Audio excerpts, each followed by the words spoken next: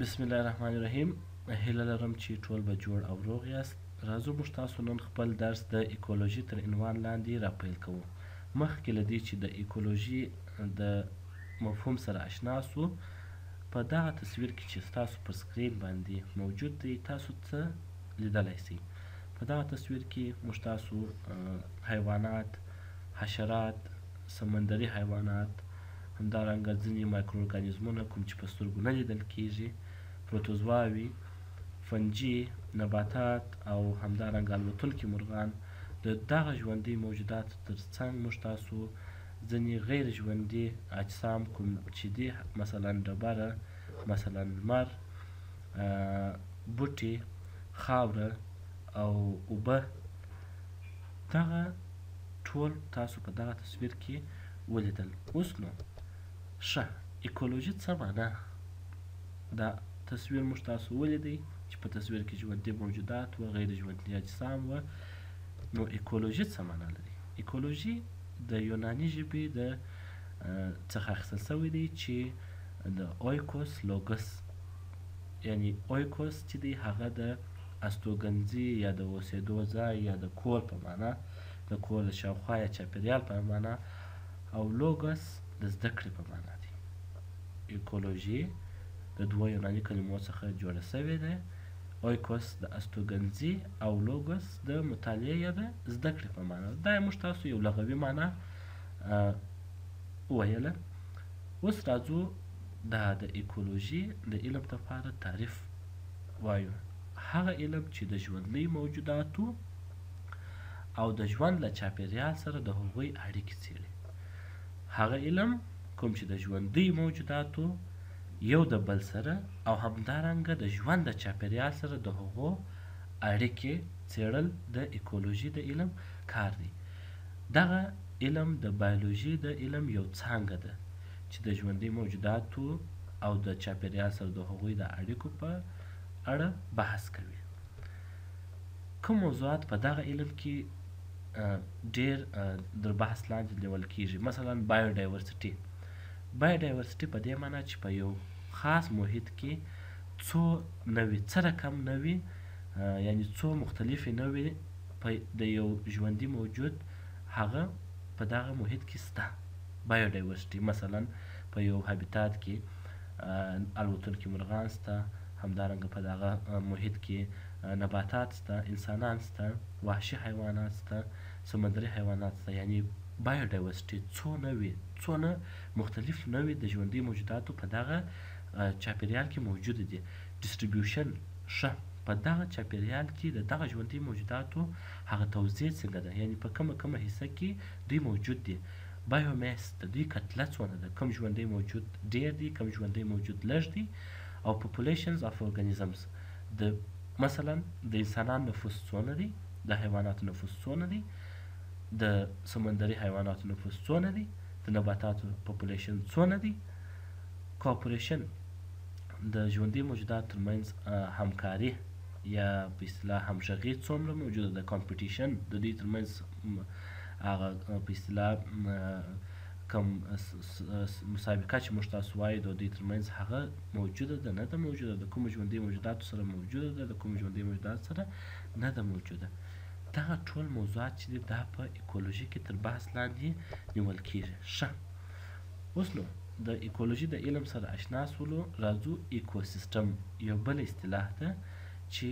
موږ تاسو ورسره مخ کیږو ښه نو ایکوسیستم د څه په مانا دی؟ د یو چاپیریال د ژوندیو او غیر ژوندیو موجوداتو ډلې ته، یعنی په یو چاپیریال کې چې کوم ژوندي موجودات دي او په هغه چاپیریال کې چې کوم ژوندي غیر ژوندي موجودات دي د دوی یو ټولګې ته، د دوی یو ځایوالي ته چې یو د بل سره اړیکې ولري. ژوندي موجودات جمع غیر ژوندي موجودات. هغه وخت چی یو د بل سره اړیکی ولری دغه ته موږ تاسو ایکو سیستم وایو مثلا که چیری د لمر رڼا نه موجوده موږ تاسو ویل چی نباتات د لمر د رڼا په موجودیت کی د ضیعی ترکیب عملیه سرته رسوی ښه نو که چیری د لمر رڼا نه موجوده آیا نبات دا عملیه سرته رسولای سی هیڅ کله نسی رسولای د ماس یوه لدی چی دته یو مصنوعی لایټ برابر سی نو دغه اړیکه د لمر او د نبات ترمنځ موجوده ده دغه اړیکه مطالعه کول د چا کار دی د ایکولوژي کار دی او دغه اړیکه چې موجوده ده دا چیرې موجوده ده په ایکوسیستم کې موجوده ده یعنی د چاپیریال د ژوندۍ موجوداتو او غیر ژوندۍ موجوداتو یو ټولګي ته یو سیټ ته موږ تاسو چې یو د بل سره اړیکې ولري هغه ته موږ تاسو ایکوسیستم وایو ښه نو ایکوسیستم خو مو ویل چې په چاپیریال کې ژوندی ژوند ژوندي موجودات جمع غیر ژوندي موجودات اوس نو ایکوسیستم پر څو ډول دی ایکوسیستم موږ تاسو لومړنی ډول د ایکوسیستم چې موږ تاسو لرو هغه وچ ایکوسیستم دی وچ ایکوسیستم هغه ایکوسیستم ته ویل کیږي چیرې چې اوبه نه موجودې یا په کم اندازه موجودې مثلا دښتې دي غرونه دي وچې مځکې دي وچ وچ صحراوې دي ځینې ځنګلونه دي دا ټوله په وچ ایکوسیستم کې راځي همدارنګه بل ډول چې موږ تاسو د ایکوسیستم لرو هغه د اوبو ایکوسیستم دی د اوبو په ایکوسیستم کې موږ تاسو طبیعي او مصنوعي جهیلونه سیندونه سمندرونه او نور ځینې هغه برخې چې اوبه لري هغه په دغه ایکوسیستم کې شامل دي نو موږ تاسو د ایکوسیستم دوه ډولونه لرو یو وچ ایکوسیستم چې دښتې و غرونه و ځنګلونه پکښې شامل دي او بل د اوبو ایکوسیستم چې په هغه کې طبیعي او مصنوعي جهیلونه، سیندونه، سمندرونه او داسې نور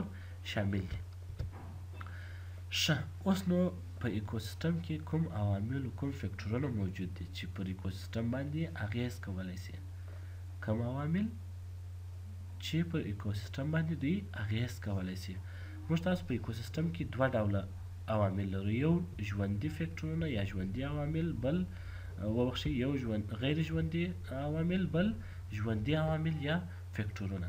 په غیر ژوندي کې موږ تاسو د اکسیجن موجودیت لایټ یا نور د اوبو موجودیت همدارنګه ټمپریچر یا تودوخه خاوره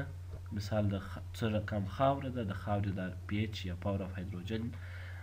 دا څومره دی دا په غیر ژوندي فکټورونو کې راځي او بایوټیک فکټرز بایوټیک فکټرز کې بیا موږ تاسو کمپټیشن لرو چې هغه کوم ژوندي فکټورونه چې دي هغه ټول په دغه کې راغښتي دي لومړی موږ تاسو د دغه ډلې څخه غیر ژوندي یا فزیکي عوامل وایو فزیکي عوامل کې موږ تاسو په تصویر کې ویل چې نور اوبه تودوخه هوا خاوره دا ټوله په فزیکي فکټورونو یا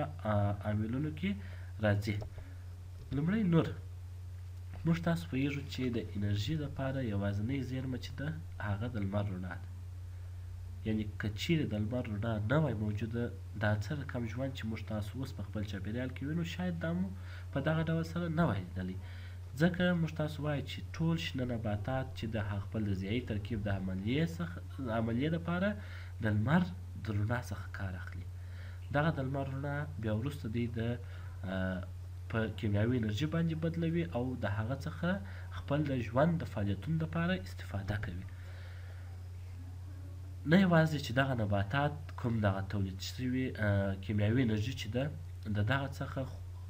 د دې ترڅنګ چې خپل استفاده کوي موږ تاسو لپاره ځینې کیمیاوي مواد د خوراکي توکو په ډول چې موږ تاسو یې میوه بولو اماده کوي یعنی د دغه نباتاتو د نورو کیمیاوي موادو څخه بیا موږ تاسو او حیوانات او ځینې نور ژوندي موجودات چې دي هغه استفاده کوي ښه نو که چیرې نور نه وای موجود یا د لمر رڼا نه وای موجوده دغه ټول عملی چې کومې دي یا دغه کوم ژوند چې موږ تاسو په هوس په خپل شاوخوا کې وینو دا به ستاسو په فکر امکان درلودی بالکل نه دوهم فیکټر چې دی هغه تودوخه ده ښه تودوخه پر پر ژوندي موجوداتو باندې څه تاثیر لري تودوخه پر ژوندي موجوداتو ځانګړې اغېزه لري مثلا مثال خبرې موږ تاسو وایي چې د سړې وینې لرونکي یا کول بلډډ کوم انیملز یا حیوانات چې دی هغه د ژمي په موسم کې دی په ژمني خوب باندې بیده کیږي دغه خوب ته موږ تاسو په انګلیسي کې د ټورپر اصطلاح لرو ښه کله چې دغه کولډ بلډډ یا سړه وینه لرونکي حیوانات چې د ژمي موسم را نږدې کیږي دوی خپل د ځان لپاره د خوب د خپل د خوب لپاره یو ځای برابروي کله چې دوی دغه موسم را ورسېدي خپل ځان په ژمني خوب باندې اخته کوي ژمني خوب کې د دوی د زړه کوم ټکان چې دی د دوی د سږو کوم حرکت چې دی هغه کمیږي او همدارنګه د دې ترڅنګ د دوی د بدن تودوخه راکښته کیږي یعنی دغه حیوانات په ژمي کې ځکه چې دوی سړه وینه لرونکي دي دوی چې کله ژبني خوب ته داخل سي د دوی د بدن تودوخه د محیط په مقابل کې کښته کیږي که چیرې دغه میکانیزم نه وای موجود نو ټول سړه وینه لرونکي حیواناتو په ژمي کې د فریزینګ سره یعنی د یخی کیدو سره مخامخ کیدلای او دغه څخه وروسته به دوی مړه کیدلای خو کله چې دوی په ژمنی خوب بیده سی د دوی د بدن تودوخه د محیط مقابل کې کښته کیږي او دوی دغه ژمی موسم یا دغه د یخ موسم چې دی هغه په هغه سروایف کی یا د هغه سره مقابله وکړي دوهم د نباتاتو د دانو په وده هم مهمه اغیزه لري که چیرې تودوخه مایع نه وي موږ تاسو وایي چې د نباتاتو دانه چې د هغه پروټیني جوړښت لري او د پروټین پر جوړښت باندې تودوخه مستقیم تاثیر لري که چیرې تودوخه زیاته سي معلومداره خبره چې دا پروټیني جوړښت چې دی هغه خرابیږي نو موږ وایو چې تودوخه هم د ژوندۍ موجوداتو پر ژوند باندې تاثیر اچولی شي دریم فکتور چې دی هغه اوبه دي موږ تاسو پوهیږو چې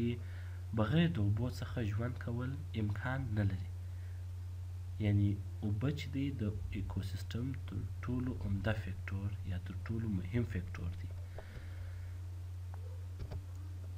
ولاړې اوبه سیندونه ډنډونه سمندرونه دا ټوله چې موږ تاسو ویل چې د اوبو ایکوسیستم جوړوي او همدارنګه دریم چې بل فکټور چې دی هغه هوا ده غازونه مثال له خبرې کاربن ډای اکساید غاز دی مثال له خبرې اکسیجن دی مثال له خبرې نور غازونه چې کوم په هوا کې موجود دي دا هم د ایکوسیستم یو مهمه برخه جوړوي کوم کاربن ډای اکساید چې په هوا کې موجود دی هغه موږ تاسو په ځای ترکیب په عملیه کې ویل دي چې نباتات د, د محیط څخه کاربن ډای اکساید اخلي بیا د هغه په نور د ضیايي ترکیب د پروسې په مرسته سره دوی د خپل ځان لپاره انرژي او غذا برابروي نو که چیرې دغه کاربن ډای اکساید په هوا کې یا په چاپیریال کې موجود نه وي نبات نس کولای چې دغه عملیه سرته ورسوي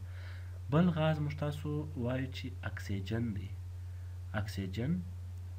د یو ژوندي موجود لپاره فرض دی که چیرې اکسیجن نه موجود موږ تاسو وایي چې ژوندی موجود خپل ژوند ته ادامه نشي ورکولی اکسیجن د تنفس او انرژي د تولید لپاره ډیر ضرور دی موږ تاسو اکسیجن اخلو د اکسیجن په مقابل کې کاربن ډای اکساید د خپل عضویت څخه خارجوو اوس نو اکسیجن موږ تاسو وایي چې یو مقدار د ضیایي ترکیب د عملیې په واسطه باندې د نباتاتو په واسطه تولیدیږي یو مقدار یې په اوبو کې موجود دی یو مقدار د ځینې عضوي مرکباتو په ساختمانونو کې موجود دی نو دا کوم اکسیجن چې دی په هوا کې موجود دی د دې څخه موږ تاسو تنفس لپاره او همدارنګه د انرژي د تولید لپاره کار اخلو یعنی هغه کوم ریاکشنونه یا تعاملات چې اکسیجن ته ضرورت لري که چیرې اکسیجن نه موجود دغه تعاملات سرته نه رسیږي بل بعد موږ تاسو په ګرده شیندنه کې د یو فکټور چې په ګرده شیندنه کې د هغه د نبات ګرده چې و د یوه ځای څخه بل ځای ته انتقالول هغه مو بعد ویلی یعنی که په محیط کې که چیرې بعد نه وي موجود د هغه نباتاتو ګرده کوم چې سپکه ده وچه ده هغه به د یوه ځای څخه بل ځای ته نه انتقالېده یعنی بعد هم د ژوندي موجوداتو سره ډیره اړیکه لري بل فکټور چې دی هغه خاوره خاوره موږ تاسو وایي چې د ژوندۍ موجوداتو فزیکي چاپیریال دی زموږ تاسو په شاوخوا کې چې موږ تاسو خپل کوم چاپیریال وینو د زموږ تاسو فزیکي چاپیریال ټولو د ټوله د خاورو په واسطه باندې احاطه شوی دی ډېر حیوانات دي چې په خاوره کې کور جوړوي مثلا زیاتره د حیواناتو څخه چې دي هغه د خپل ځان لپاره په خاورو کې کورونه جوړوي او ځینې حیوانات د دغه خاورو پر سر باندې خپل د ځان لپاره د اوسېدو یو زمینه برابروي. کوم نباتات چې موږ تاسو په خپل محیط یا شاوخوا کې وینو، دغه نباتات خپل د اړتیا وړ مواد مثلا اوبه، منرالونه، دغه د اړتیا وړ مواد چې دي هغه د ریښې د لارې موږ تاسو ویلي وه چې د ریښې د لارې د خاورو څخه جذبوي بیا وروسته د نبات نورو برخو ته انتقالېږي، نو کوم د اړتیا وړ مواد نبات چې دي هغه هم په دا خاوره کې موجود دي. دغه وو زموږ تاسو د همدې هفتې درس. هیله لرم چې په ایکوسیستم یا د ایکولوژي په اړه باندې مو څه معلومات ترلاسه کړی وي. تر بلې هفتې پورې د الله په امان ښه وخت ولرئ.